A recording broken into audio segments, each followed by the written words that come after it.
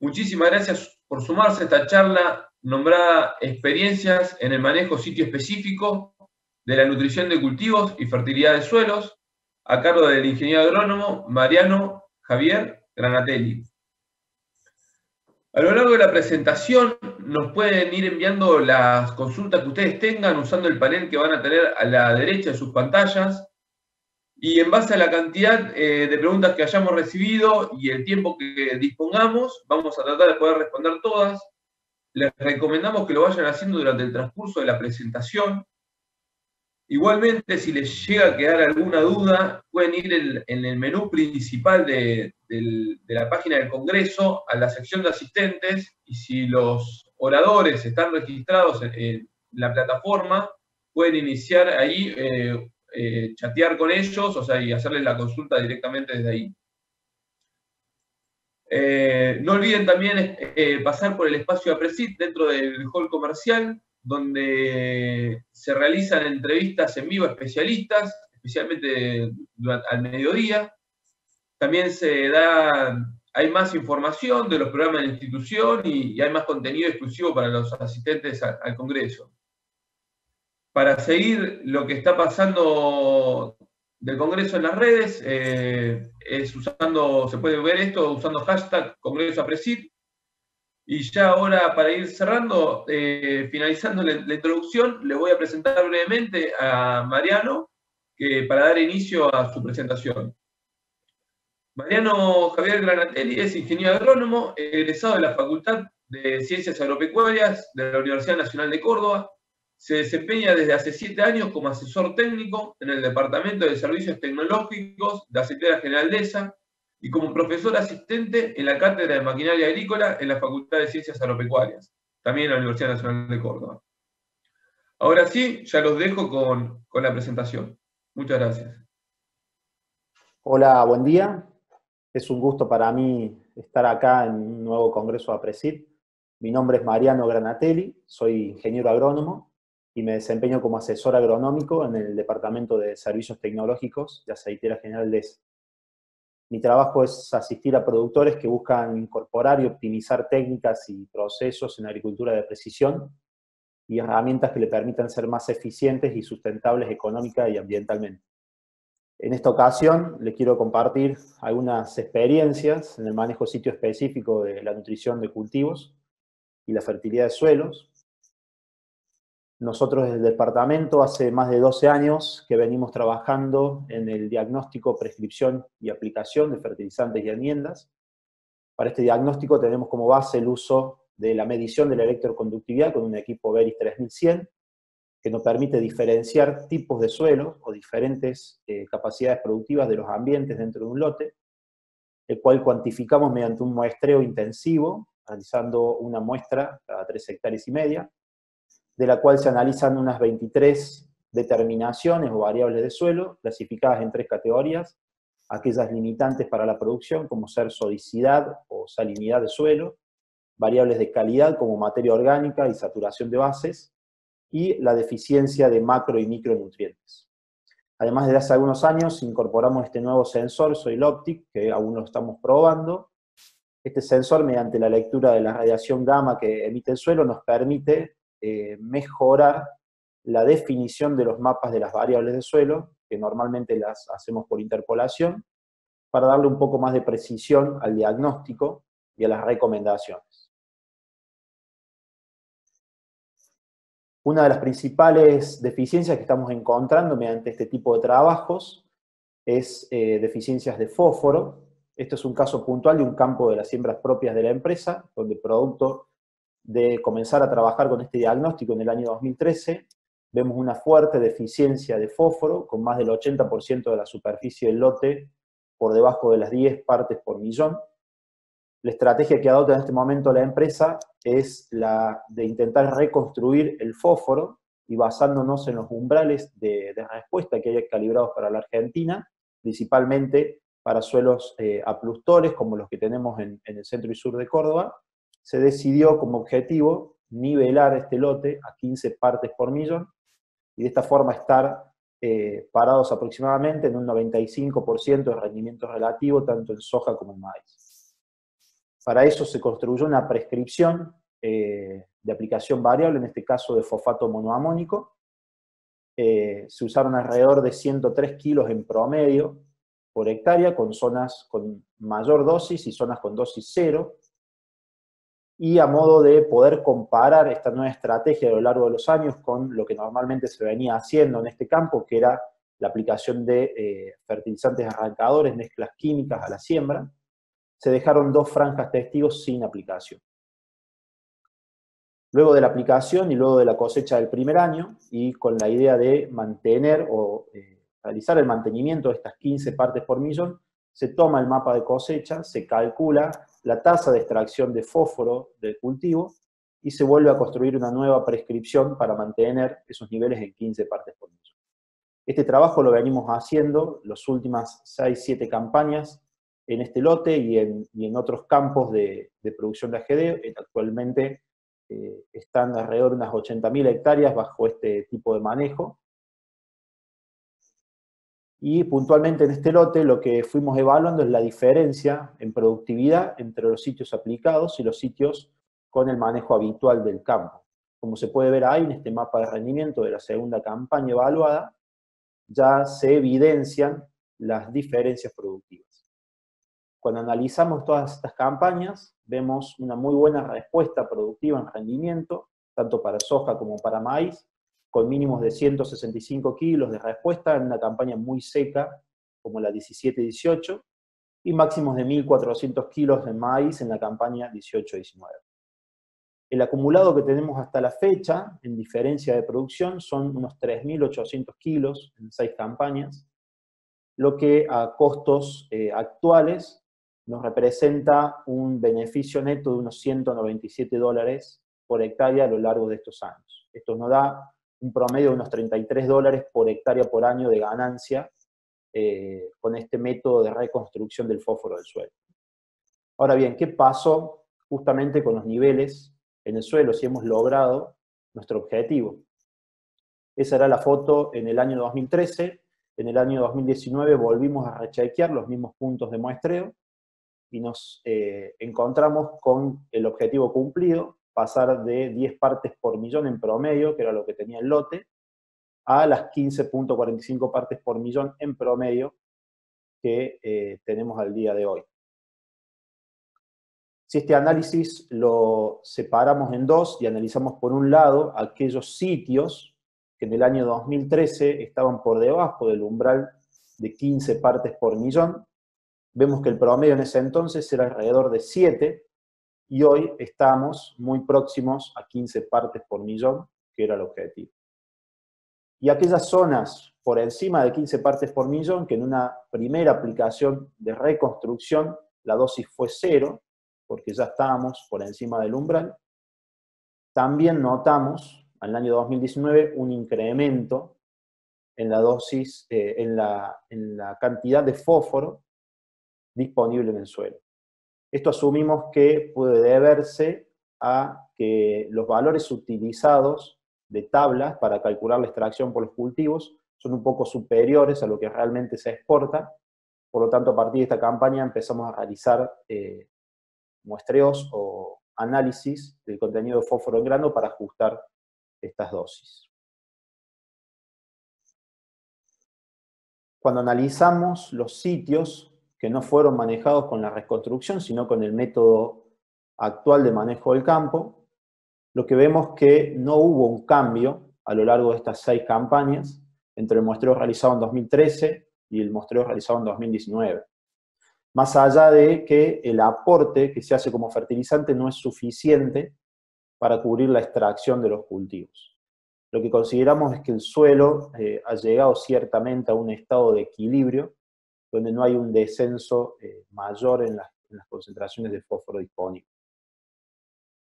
En el caso de nitrógeno, venimos trabajando con ensayos en franjas con dosis creciente, cruzando ambientes, para poder obtener las curvas de calibración o las curvas de respuesta en cada uno de ellos, buscando las dosis óptima en cada sitio. Esto lo hacemos en conjunto con variación en las densidades de siembra para optimizar ambos nutrientes. En este caso, vemos que para el ambiente bajo, o sea, el de alta potencial productivo, la mejor respuesta y margen económico lo obtenemos con 90.000 plantas y 300 kilos de fertilizante. Por el lado del zinc, en este gráfico se pueden ver los valores de cada uno de los puntos de muestreo en este lote que venimos analizando, los umbrales que sugiere la bibliografía y algunos autores en Argentina es de una parte por millón cuando el análisis se hace con el extractante de DTPA. En nuestro laboratorio se utiliza la técnica de Melich 3, donde los autores eh, para Argentina establecieron rangos críticos entre 1 y 2 partes por millón. De esta forma vemos que en este lote particular más del 90% de las muestras están por debajo de este umbral crítico. En función de esto, desde el año 2013 venimos trabajando con el uso de arrancadores que tengan zinc en su composición. Además se utilizan eh, productos aplicados a la semilla y en algunos casos productos foliares.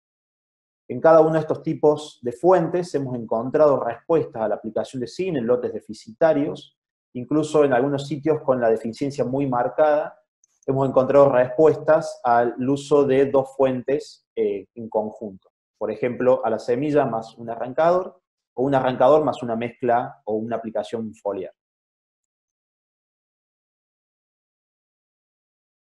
Ahora bien, ¿qué sucedió con las demás variables del suelo? En el caso del pH, vemos que tuvimos una disminución de 0,53 unidades. Hoy el lote tiene en promedio valores de pH de 6, lo que nos sitúa en un umbral por debajo del cual comenzamos a tener severas eh, deficiencias en la disponibilidad de algunos macro y micronutrientes. En cuanto a las bases, vemos una disminución principalmente en las concentraciones de magnesio y potasio, no así en calcio.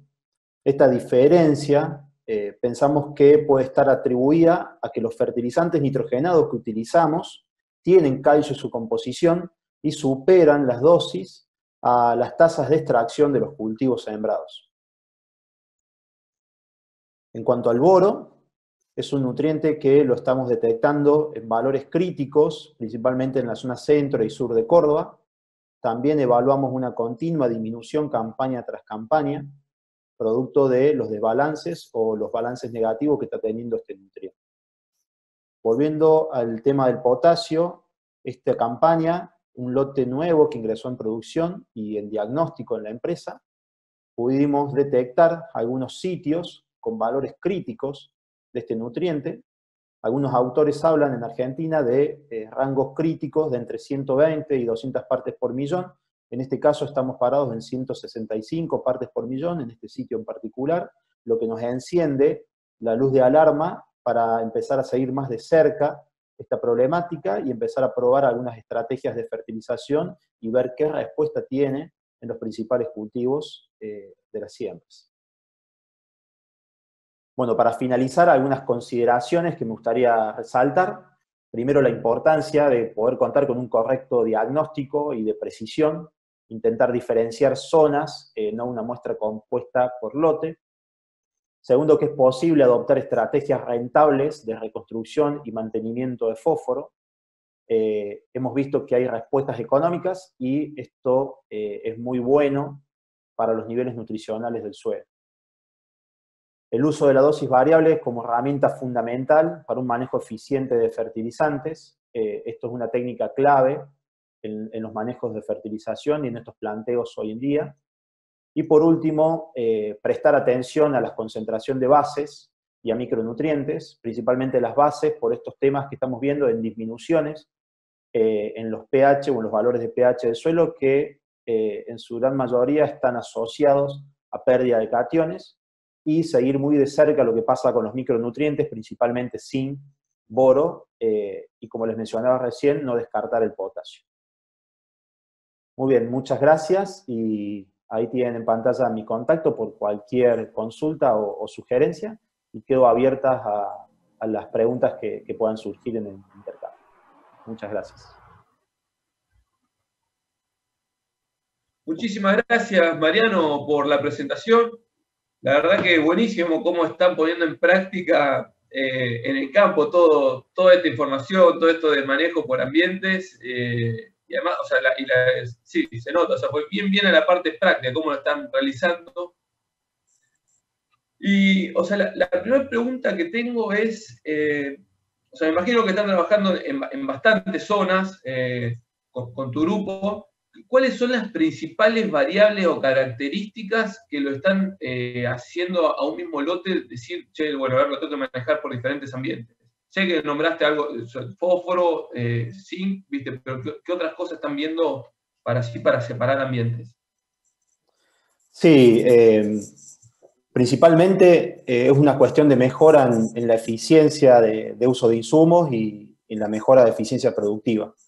Eh, ahí en la presentación hacemos mucho hincapié en fósforo porque principalmente como producto de los diagnósticos que hacemos, eh, es la principal limitante o el principal nutriente limitante que estamos encontrando, principalmente acá en la provincia de Córdoba.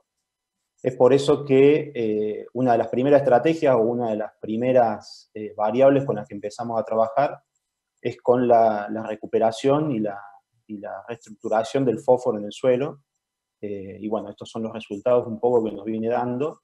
Esto también va de la mano eh, principalmente de la dosis variables en semillas en, maíz y el manejo de la, de la, fertilización nitrogenada también variable y acompañando al, al nivel productivo de cada Claro, está. Y, y, en el tema de esto, o sea, de que vi que mostrabas eh, curvas con diferentes respuestas al nitrógeno, eh, ¿qué, características tenían estos dos ambientes o están viendo para decir, bueno, a ver, estos ambientes tienen más respuesta, esto menos? O sea, ¿en base a, qué, dato? Sí, básicamente eh, el nitrógeno es un nutriente eh, rendimiento dependiente.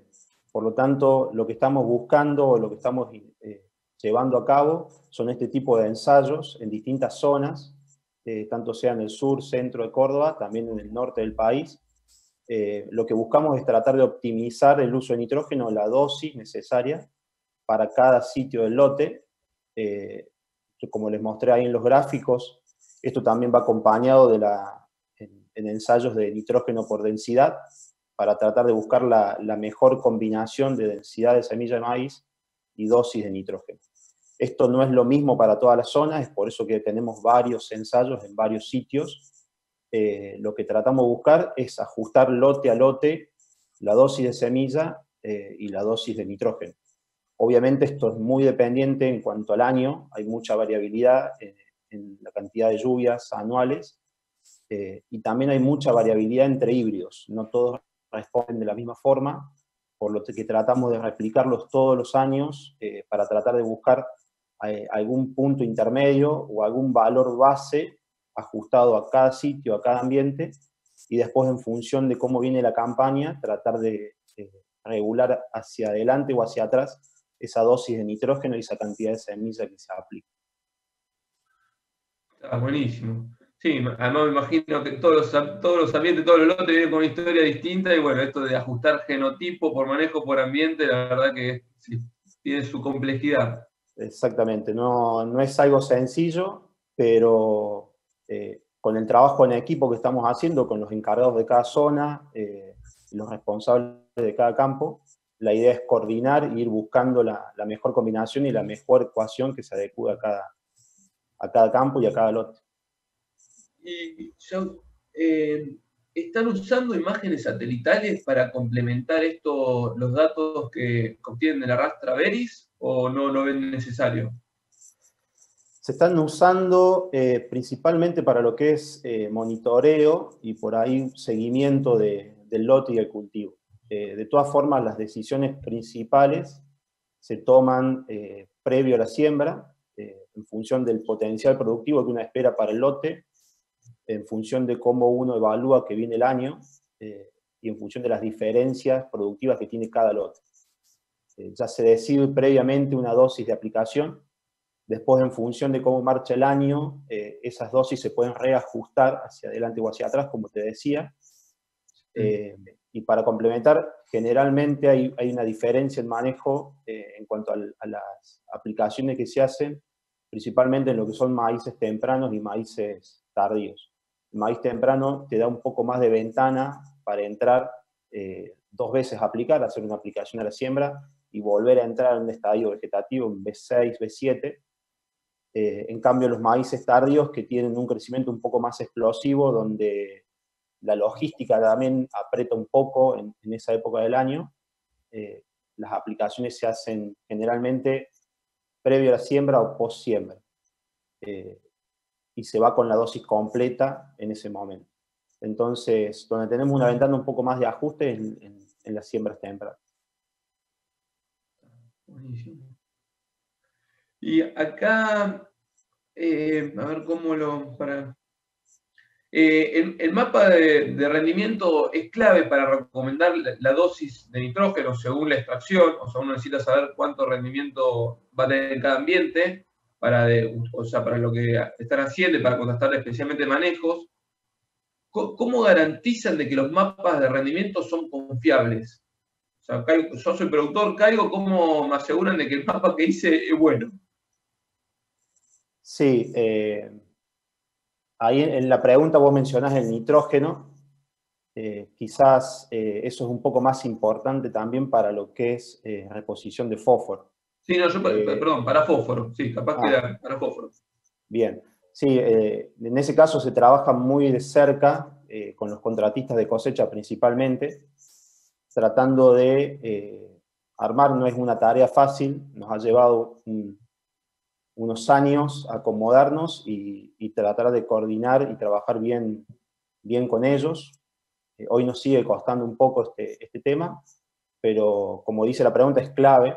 Eh, desde nuestro aspecto, lo que hacemos es tratar de trabajar muy de cerca con los contratistas, eh, apoyarlos, tratar de, acompañarlos, asesorar a sus, a sus maquinistas para que, para que estén atrás y, y puedan eh, lograr un mapa de rendimiento confiable, enseñándoles a calibrarlo, eh, mostrándoles cuáles son los beneficios de tener una buena calibración y finalmente eh, siempre se hace una pequeña corrección en función de la producción real del lote y lo que da el, el, mapa de rendimiento. Siempre hay una pequeña variación entre lo que mide la máquina y lo que sale realmente del campo, eso se ajusta para poder calcular de la manera más precisa la, la extracción de fósforo de ese lote.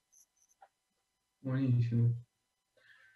Y después nombrabas esto de que están viendo muchos, muchos lotes que están abajo de los umbrales en, zinc y que están trabajando con aplicaciones ya en el suelo y también eh, con foliares. No sé si eh, nos puedes compartir datos de, de, niveles de respuesta en kilo, en aplicaciones en suelo, en aplicaciones foliares, eh, sobre todo por zinc y, bueno, y, también por boro. Sí, en cuanto a zinc, eh, tenemos algunos ensayos, yo no los, no los mostré ahí, las respuestas van, eh, no son muy grandes como, como en, productos como nitrógeno, es un microelemento donde los, los incrementos en productividad son un poco más acotados, pero hay respuestas de 200, 300, 400, 500 kilos, eh, en algunos ensayos puntuales eh, hay un poco más, algunos kilos más de, respuesta a la aplicación. Lo que venimos haciendo o lo que nos hemos propuesto como, como departamento es eh, aplicarle a todos los lotes que van con gramíneas, sea maíz o trigo, alguna dosis zinc. Se están usando principalmente, como les comentaba ahí en la presentación, productos a la siembra, mezclas químicas que en su composición tengan zinc, eh, en otros casos se usan productos aplicados a la semilla, eh, y en algunos casos en, lotes muy eficientes donde por ahí la concentración que tiene el, fertilizante que se usa a la siembra eh, no es mucha, se lo complementa con una aplicación a semilla. Generalmente en los ensayos que, hemos hecho en, en, las últimas campañas, siempre vemos alguna respuesta a la aplicación de zinc, donde es más errático por ahí es en la aplicación apilada, es decir, aplicar algo a la semilla más un arrancador o un arrancador más un foliar. Eh, en esos casos, eh, las respuestas que hemos tenido fueron un poco más variables, pero siempre hay un plus de, rendimiento con la aplicación de zinc, eh, así que se tomó como decisión a nivel departamento, como estrategia, acompañar siempre a lo que es gramíneas, ya sea maíz o trigo, con algo de zinc aplicado, con algunas de estas fuentes que te mencionaba. Y vos me preguntabas en, cuanto, en cuanto a boro, perdón, eh, eso es algo que nos queda pendiente por empezar a trabajar esta campaña, lo venimos viendo como deficiente, como les mostraba ahí en la, en la presentación. Eh, esta campaña tenemos planificado algunos ensayos para empezar a probarlo fundamentalmente en, en soja. buenísimo. No, sí, en estos nutrientes, si no se ve, uno no lo ve en su lote hoy, seguramente si no está fertilizando con 5 con boro, démosle dos años, cinco años, siete, que lo vamos a terminar también viendo. Exactamente. Me parece que de tiempo nomás. Exactamente. Eh, ¿Cómo balancean el esfuerzo de muestreos versus la precisión de los mismos? O sea, esto sería cantidad de submuestras o piques por punto eh, de la grilla de muestreo. Sí, yo les mostraba ahí un poco cómo es el trabajo en, muestreo, eh, la intensidad que usamos, que es la, que nos dio un mejor ajuste en cuanto a, costo y calidad del diagnóstico, es una muestra cada 3 hectáreas y media aproximadamente. Esa muestra es una muestra compuesta que está conformada entre 10 a 15 piques alrededor de ese punto o de ese sitio que, señalamos con, para el muestreo. Esa es la, esa es la intensidad de muestreo y esa es la cantidad de submuestras que componen cada uno de esos puntos. Buenísimo, gracias. Y, eh, o sea, esto ya ustedes como a nivel servicio, ¿sienten que esto los productores se están involucrando en la reposición de fósforo y en su diagnóstico? Sí, creo que lo que venimos viendo es que en los últimos años se está tomando un poco más de conciencia en esto, se está adoptando cada vez más, eh, no solamente el diagnóstico, tener la, iniciativa de ver cómo, está, cómo es la condición de su lote, cómo es la condición de su campo, sino que ya hay una preocupación cada vez más creciente por intentar eh, levantar los niveles de fósforo, tratar de recuperar un poco la fertilidad del suelo, eh, y creo que está a la vista que que es recomendable desde el punto de vista ambiental porque estamos eh, cuidando el recurso, principalmente eh, el suelo en este caso, y, desde el punto de vista económico estamos viendo que, hay retribución, eh, incluso en, productividad.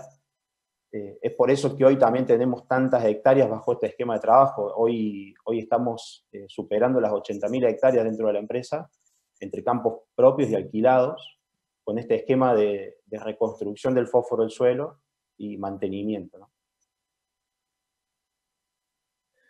Y en línea con esto, o sea, ¿recomiendan alguna fuente de fósforo específica eh, para la reconstrucción y mantenimiento? O sea, ¿están teniendo alguna respuesta mayor con alguna fuente? No, esto eh, generalmente como lo pensamos desde el punto de vista de, de una fertilización a la, rotación, una fertilización hacia el suelo. Eh, generalmente lo que usamos y lo que recomendamos es utilizar en este caso la fuente de fósforo más económica al momento de, adquirir el fertilizante. Son aplicaciones que se hacen en el invierno, en una época un poco más descontracturada, más descomprimida de, trabajo. Eh, y justamente como son aplicaciones y fertilizaciones pensadas en la rotación, pensadas al suelo, eh, lo que buscamos es aportar fósforo y generalmente utilizamos la, fuente de fósforo más, más económica. No obstante, siempre acompañamos a cada cultivo con una dosis eh, de fertilizantes, generalmente mezclas químicas, como te decía, tratando de balancear un poco lo que es fósforo, aportar azufre, aportar zinc eh, en la siembra tanto de maíz como de, de soja. Está buenísimo. Sí, o sea, es prioritario siempre la, la dosis, la cantidad del elemento termina siendo más, sí, una relevancia muy importante y bueno, después hay que hablar de la forma, la fuente. Pero sí, en ese, caso, en ese caso me parece que la fuente es eh, más crucial cuando lo pensamos desde el punto de vista del producto aplicado a la siembra, eh, un producto que tenga buena disponibilidad para que le aproveche el cultivo, que, que genere ese efecto arrancador que uno busca. Eh, y en las aplicaciones del invierno con un producto un poco más, más genérico. Y, en línea con esto del manejo de los fertilizantes, en general eh, están haciendo las, eh, las, fertilizaciones de forma incorporada o superficial. Se me ocurre por un lado por nitrógeno y por el otro lado con fósforo. Sí, por el lado del fósforo, eh, todas estas aplicaciones de reconstrucción y de, reposición de los traídos por, por, la cosecha se hacen al voleo, es una aplicación en cobertura completa. Eh, y, bueno, y después las aplicaciones de los productos que van a la siembra, eh, en ese caso siguen incorporados. Y en la fertilización con nitrógeno, mayormente se usan productos al voleo, se aplica todo al voleo, en algunos casos particulares eh, hay aplicaciones de, productos a la siembra incorporados, pero te diría que más del 80% de la superficie la aplicación es al voleo. Eh, nos da un poco más de, capacidad operativa, descomprimimos un poco la logística de, la siembra, no la cargamos tanto de fertilizante, eh, y tratamos de usar productos con, baja o nula volatilización. Ah, buenísimo. Y acá nos preguntan si nos puedes mencionar algunos productos que estén utilizando como zinc eh, de tratamiento de semilla, si tenés algunos para recomendar. Sí, eh, hay muchos, eh, particularmente estamos trabajando con, en esos casos con la línea de Yara, de Procil, en, en semilla. después, bueno, hay con varias mezclas químicas en, en lo que es granulados a la siembra. Y para reconstrucción de fósforo, a estos, hasta el umbral que nombrabas, esto de 15, eh, ¿cuánto tiempo eh, tardan en recuperar la inversión? Sí, ustedes como lo veían ahí en la presentación, va a depender bastante, por lo que venimos viendo, de, de cómo venga el año en ese campo en particular, de cómo vengan las lluvias, porque hay que, es una aplicación que se hace el voleo, tiene que incorporarse el suelo. Eh, tenemos casos específicos que no los mostré yo acá, pero en algún lote particular bajo riego, eh, con una aplicación de fósforo eh, sobre un trigo en macollaje, una aplicación que se hizo muy a mitad de año, tarde, porque por una cuestión logística llegamos tarde a la aplicación, y empezamos a ver respuestas directamente en ese cultivo. Eh, respuestas contundentes a la aplicación versus eh, no aplicar. Eh, o sea que en pocos meses ya tenemos ganancia con lotes que están muy deficientes de fósforo. Yo ahí les mostraba un poco el, beneficio que tuvimos a lo largo, en un campo en particular, a lo largo de, de 6, 7 campañas, y nos da un beneficio neto, es decir, pagamos la, eh, la inversión en diagnóstico, pagamos la inversión en, aplicación y en el fertilizante, y nos queda una ganancia de, aproximadamente 33 dólares por hectárea a, valores de hoy. Ah, buenísimo. Y, por el tema ya yendo a, pH, eh, ¿las correcciones de pH son estables en el tiempo? En cuanto a correcciones de pH, yo les mostré eh, básicamente los diagnósticos que estamos haciendo, eh, no nos hemos metido aún en el trabajo de la, recuperación o de, tratar de levantar esos niveles de pH. Lo que estamos viendo es que eh, vienen bajando, eh, igual como están anunciando algunas investigaciones de INTA en los últimos años, producto principalmente de esa tasa de extracción que tenemos principalmente de base, calcio, magnesio, vemos que están descendiendo. En la actualidad todavía no hemos empezado a trabajar en, el tema pH, en reconstruir. Sí lo tenemos en, mente eh, y no va a faltar eh, muchas más campañas para que empecemos a, hacer algunas pruebas al respecto. Pero eh, lo venimos viendo, lo venimos diagnosticando, lo tenemos en cuenta y creo que a partir de la próxima campaña ya, ya vamos a empezar con algunos trabajos específicos para, para probar distintos, distintas enmiendas y, ver la, respuesta del suelo y la respuesta de, los cultivos principalmente. Sí, y en esto es importante no solo ver en el primer, uno aplicar enmienda y verlo en el, primer cultivo y hacer los números en eso, sino ya pensar en un, ciclo con la rotación y en varios cultivos a ver las respuestas acumuladas. Capaz que el primer año no se ve, pero el segundo se ve en un par de quintales, el otro otro, y bueno, ya ahí es Exactamente. Yo creo que son, eh, en este caso, el pH junto con el fósforo, como hablábamos eh, recién, son, todos, eh, son todas estrategias o procesos de trabajo a largo plazo, como te decía.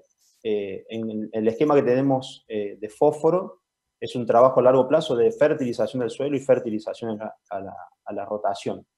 No es algo que lo hacemos buscando una rentabilidad en el corto plazo inmediatamente de la campaña, si bien la hemos visto que la tenemos y la hemos obtenido, pero es un trabajo pensado más a largo plazo y ver ese efecto acumulado que tenemos en, producción, en crecimiento en producción y en estabilidad a lo largo de las campañas.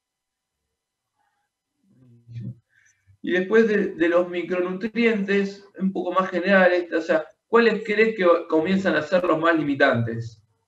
Un poco nombraste, pero bueno, capaz que por eso recalcar. Sí, principalmente el zinc hoy en día es, eh, es el, el, micronutriente más limitante que estamos viendo desde hace ya varias campañas atrás. Eh, hace algunos años empezamos a ver eh, estas deficiencias que yo les mostraba en boro, que si bien es un nutriente bastante móvil en el suelo, pero lo vemos reiteradamente en valores por debajo de, los umbrales que, se plantean en alguna bibliografía. Eh, me parece que esos dos son los principales, por lo menos es lo que venimos viendo hasta ahora, y donde nos estamos proponiendo empezar a trabajar y ver qué, respuesta tenemos al manejo y a la, y a la aplicación de, estos nutrientes. Buenísimo, gracias Mariano. Y ya la última pregunta para, antes de cerrar el panel, hubo, hubo varias que iban orientadas a, cuánto, sí, cuál es el costo del servicio, eh, de diagnóstico, o si quiero aumentar mi lote, cómo hacerlo. Más que todo para contarles eh, a dónde se podrían contactar con vos o con, el grupo para, poder en todo caso presupuestarlo. Sí, eh, hoy tenemos puntos de recepción en, varios lugares del país. Eh, generalmente lo, que sugerimos es que se acerquen a alguna de las oficinas comerciales de, AGD. hay en varios puntos de la provincia de Córdoba y en otras provincias también y si no, yo los invito directamente a que se contacten aquí dentro del Congreso. Eh, está mi contacto, eh, tenemos un espacio con, un stand donde nos pueden contactar. Eh, y bueno, podemos generar alguna reunión, alguna charla y creo que lo más interesante es intercambiar por ahí un poco de experiencias, que es lo más rico en todo esto. Buenísimo. Gracias Mariano por la invitación. Cualquiera entonces lo puede buscar a Mariano en la, sección de asistentes, eh, o si no, entrar en la parte de hall comercial y buscarlo eh, por ahí. Así que Mariano, te agradecemos, eh, agradecemos también a toda la audiencia y bueno, nos estamos viendo en la siguiente charla. Muchísimas gracias. Bueno, gracias Alejo, gracias a Presid, a, Maxi, a, Andrés que están ahí en, los controles y bueno, y felicitarlos a, a Presid porque más allá de este de esta experiencia que estamos viendo este año complicado, han, podido llevar adelante un congreso de, de la mejor manera. Buenísimo, gracias.